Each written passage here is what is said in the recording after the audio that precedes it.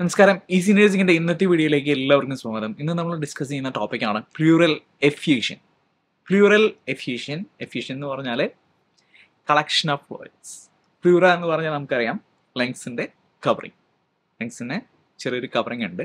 പറയറ്റൽ ഫ്ലൂറ pistol pleura എന്തിനാണ് ഈ covering ലങ്സിന്റെ എക്സ്പാൻഡ് ചെയ്യുമ്പം ഫ്രിക്ഷൻ കുറയ്ക്കാനായിട്ട് ഒരു ലൂബ്രിക്കേറ്റിംഗ് ഫ്ലൂയിഡൊക്കെ കൂടുതലായിട്ട് രണ്ട് ലെയേഴ്സ് ഇങ്ങനെ ലങ്സിന് ചേർന്ന് നിൽക്കുന്നുണ്ട്. പറയറ്റൽ ഫ്ലൂറ വിസ്രൽ ഫ്ലൂറ പറയറ്റൽ ഫ്ലൂറ പുറത്തെ ഫ്ലൂറൽ ലെയർ വിസ്രൽ ഫ്ലൂറ അകത്തെ ഫ്ലൂറൽ ലെയർ അതിനകത്ത് ഫ്ലൂയിഡ് സ്ട്രോ കളർഡ് ഫ്ലൂയിഡ് ഉണ്ട്.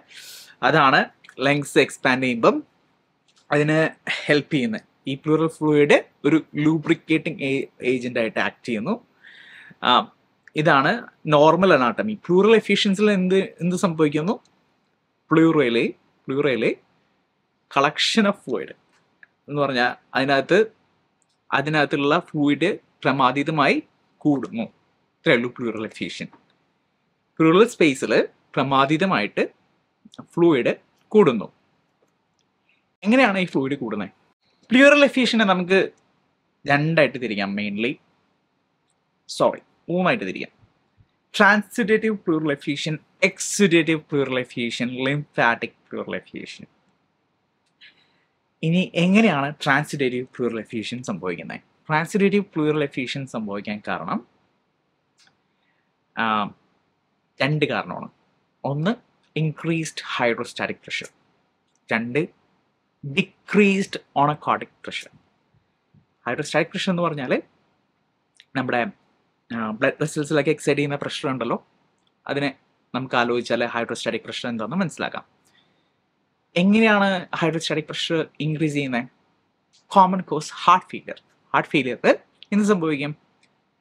Inability of the heart to pump the blood അല്ലേ അതാണ് ഹാർട്ട് ഹാർട്ട് ഫെയിലിയർ സംഭവിക്കുന്നത്. ഹാർട്ടിന് ശരിക്ക് ബ്ലഡ് പമ്പ് ചെയ്യാൻ പറ്റുന്നില്ല. ഇപ്പം എന്ത് സംഭവിക്കും? ബ്ലഡ് പൾമണറി വെസൽസിലേക്ക് ബാക്ക് ഫ്ലോ സംഭവിക്കും. ബാക്കപ്പ് ഉണ്ടാവും. ബാക്ക് ഫ്ലോ സംഭവിക്കുമ്പോൾ എന്ത് സംഭവിക്കും? പൾമണറി വെസൽസിൽ പ്രഷർ ഹൈഡ്രോസ്റ്റാറ്റിക് പ്രഷർ കൂടുന്നു. അങ്ങനെ ക്യാപ്ലറി ലീക്ക് സംഭവിച്ച് ഫ്ലൂറലിൽ ഫ്ലൂറയിൽ കൂടുതൽ ഫ്ലൂയിഡ് അക്കുമുലേറ്റ് ചെയ്യുന്നു. മനസ്സിലായല്ലോ? ഹാർട്ടിന് ബ്ലഡ് ശരിക്ക് പമ്പ് സംഭവിക്ക പമ്പ് ചെയ്യാൻ ഉള്ള എബിലിറ്റി നഷ്ടപ്പെടുന്നു. ഹാർട്ടിന് ശരിക്ക് ബ്ലഡ് പമ്പ് ചെയ്യാൻ പറ്റുന്നില്ല.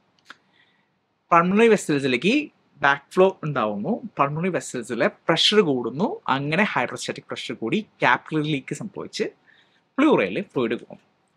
രണ്ടാമത്തത് decreased oncotic pressure decreased oncotic pressure എങ്ങനെയാണ് സംഭവിക്കുന്നത്? ലാർജ് പ്രോട്ടീൻസ് ലൈക്ക് ആൽബുമിന് ക്യാപ്ലറി മെമ്പറിൽ നിന്ന് പുറത്തേക്ക് പോകാനായിട്ട് പറ്റുന്നില്ല. ഹൗ നമ്മുടെ ഓസ്മോസിസിലെ ലോ കോൺസെൻട്രേഷനിൽ നിന്ന് ഹൈ കോൺസെൻട്രേഷനിലേക്ക് ഫ്ലൂയിഡ് മൂവ് ചെയ്യുന്നു. അത് എപ്പോഴാണ്? നെഫ്രോട്ടിക് സിൻഡ്രം നെഫ്രോട്ടിക് സിൻഡ്രത്തിൽ പ്രോട്ടീനൂറിയ എല്ലാ പ്രോട്ടീനും ലൂസ് ആയിക്കൊണ്ടിരിക്കുകയാണ്. അല്ലെങ്കിൽ സിറോസിസ് ലിവർ സിറോസിസിൽ കുറച്ച് പ്രോട്ടീൻസ് മാത്രം പ്രൊഡ്യൂസ് ചെയ്യുന്നു. അങ്ങനെ സംഭവിക്കുമ്പോൾ എന്ത് സംഭവിക്കുന്നു?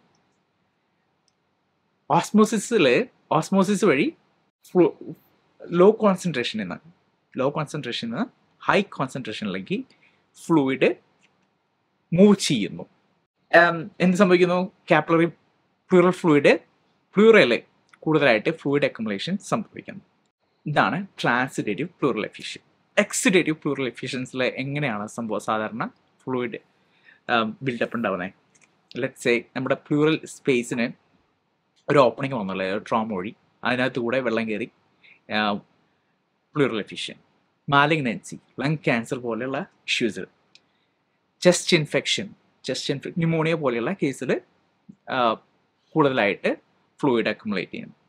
അല്ലെങ്കിൽ ഇനി autoimmune disease S L E പോലെയുള്ള ഓട്ടോ സിസ്റ്റമിക് ലൂപ്പസ് എഴുത്തമെറ്റസ് പോലെയുള്ള ഓട്ടോ ഇമ്മ്യൂൺ ഡിസീസിൽ കൂടുതലായിട്ട് ഫ്ലൂയിഡ് ബിൽഡപ്പ് ആവുന്നു. ഇതാണ് എക്സിഡേറ്റീവ് പ്യൂറിലഫീഷൻ ഇനി ഒരെണ്ണം കൂടിയുണ്ട് ലിംഫാറ്റിക് എന്താണ് സംഭവിക്കുന്നത്? ലെറ്റ് സേ പേഷ്യന്റ് ഒരു തൊറാസിക് പ്രൊസീജിയർ നടക്കുന്നു. അവരുടെ ലിംഫാറ്റിക് സിസ്റ്റത്തിൽ എന്തെങ്കിലും നമ്മൾ അറിയാതെ കട്ട് ചെയ്തു എന്ന് വിചാരിക്കുക എന്ത് സംഭവിക്കും? ലിംഫാറ്റിക് ഡ്രെയിനേജ് ശരിക്ക് നടക്കുന്നില്ല. ഇവിടേക്ക് ഇവിടെ പ്ലൂറ പ്രൊഡ്യൂസ് ചെയ്തുകൊണ്ടിരിക്കുന്ന എന്താണ്? പ്ലൂറ പ്രൊഡ്യൂസ് ചെയ്തുകൊണ്ടിരിക്കുന്ന ഫുഡ് സാധാരണ ഫുഡ് അവിടെ കൂടുതലായി കൂടുതലായി അക്യുമുലേറ്റ് ചെയ്യുന്നു. അവിടുന്ന് പുറത്തേക്ക് ഫുഡ് പോകുന്നില്ല. ലിംഫാറ്റിക് എഫ്യൂഷൻ ഇതാണ് മൂന്ന് തരത്തിലുള്ള pleural effusion transudative effusion mainly due to increased hydrostatic pressure decreased oncotic pressure രണ്ടാമത്തത് എക്സിഡേറ്റീവ് പ്ലൂറൽ എഫിഷ്യൻ നമുക്ക് സാധാരണ വരുന്നത് എങ്ങനെയാണ്? Lung malignancy trauma auto immune disease lung infection മൂന്ന് ലിംഫാറ്റിക് പ്ലൂറൽ എഫിഷ്യൻ കാരണം ലിംഫാറ്റിക് ഡ്രെയിനേജിന് ഉണ്ടാവുന്ന എന്തെങ്കിലും ഇഞ്ചുറി കൊണ്ടുണ്ടാവുന്ന പ്ലൂറൽ എഫ്യൂഷൻ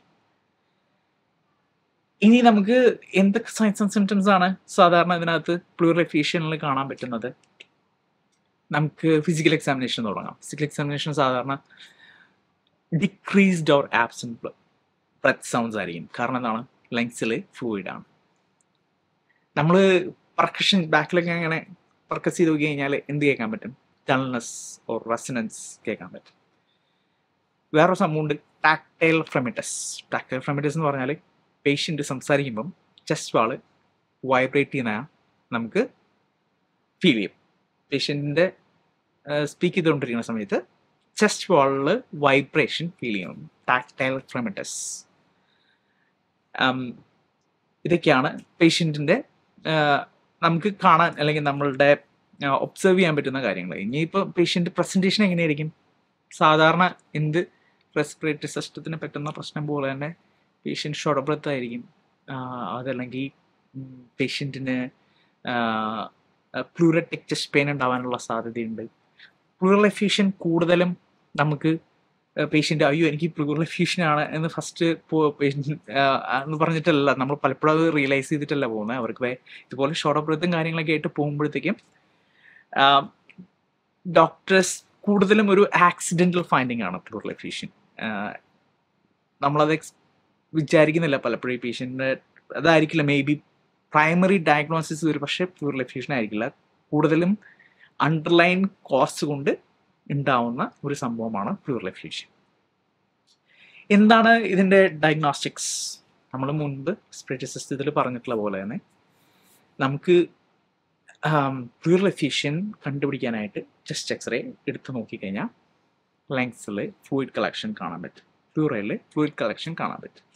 ഇനി സി ടി സി ടി എടുത്ത് നോക്കിക്കഴിഞ്ഞാലും നമുക്ക് പോലെ ഫ്ലൂയിഡ് കളക്ഷൻ കാണാൻ പറ്റും. എന്താണ് ഇതിന്റെ മാനേജ്മെന്റ് പ്ലൂറൽ എഫ്യൂഷൻ ഉള്ള പേഷ്യന്റിനെ നമുക്ക് മെഡിക്കേഷൻ മാനേജ്മെന്റ് എന്താണ് കൊടുക്കുന്നത്? ഫ്ലൂയിഡ് കളയാനായിട്ട് ബോഡിയിലുള്ള എക്സ്ട്രാ ഫ്ലൂയിഡ് കളയാനായിട്ട് നമ്മൾ എന്താണ് സാധാരണ കൊടുക്കുന്നത്?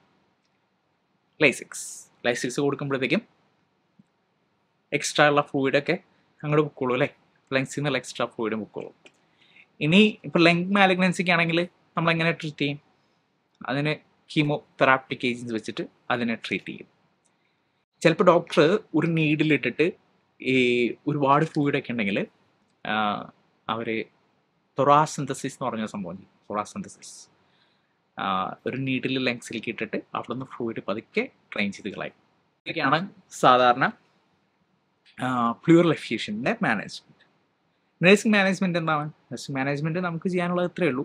പേഷ്യന്റിന് സാച്ചുറേഷനൊക്കെ കുറവാണെങ്കിൽ നമ്മൾ പേഷ്യന്റിന്റെ പൊസിഷൻ മര്യാദയ്ക്ക് ചെയ്യുക പൗളസ് പൊസിഷൻ കൊടുക്കുക ഓക്സിജൻ കൊടുക്കുക വൈറ്റൽസ് മോണിറ്റർ ചെയ്യുക. പേഷ്യന്റിനെ നമ്മൾ പെയിൻ ആണെങ്കിൽ പെയിനുള്ള മാനേജ്മെന്റ് പെയിൻ മാനേജ്മെന്റ് ചെയ്യുക. ഇതൊക്കെയാണ് നമ്മുടെ നഴ്സിംഗ് മാനേജ്മെന്റ്. പിന്നെ പേഷ്യന്റ് ഇതുപോലെ സർജറി കഴിഞ്ഞാൽ തൊറസെൻസിസ് ഒക്കെ ഉണ്ടെങ്കിൽ നമ്മളുടെ ബ്ലീഡിങ് ഉണ്ടോ എന്ന് മോണിറ്റർ ചെയ്യണം. പേഷ്യന്റിന്റെ ബ്ലഡ് പ്രഷർ കൊളാപ്സ് ആവുന്നുണ്ടോ എന്ന് മോണിറ്റർ ചെയ്യണം. ഇതൊക്കെയാണ് ഇതിന്റെ സാധാരണ വരുന്ന നഴ്സിംഗ് മാനേജ്മെന്റ് നമ്മൾ ഈ വീഡിയോയിൽ ഒരു സൂപ്പർഫിഷ്യൽ ആയിട്ടുള്ള ഇൻഫർമേഷൻ മാത്രമേ ഉള്ളൂ. ഇത് നിങ്ങൾ കേട്ട് കഴിഞ്ഞിട്ട് നിങ്ങൾക്ക് ബുക്ക് വായിക്കുമ്പോഴത്തേക്കും കൂടുതലായിട്ട് മനസ്സിലാവാൻ പറ്റും എന്ന് തോന്നുന്നു. തീർച്ചയായും നിങ്ങൾ ബുക്ക് റെഫർ ചെയ്തിട്ട് വേണം ഇതിന്റെ കംപ്ലീറ്റ് ആക്കാനായിട്ട് ടോപ്പിക്സ് അപ്പം അടുത്ത വീഡിയോ കാണാം.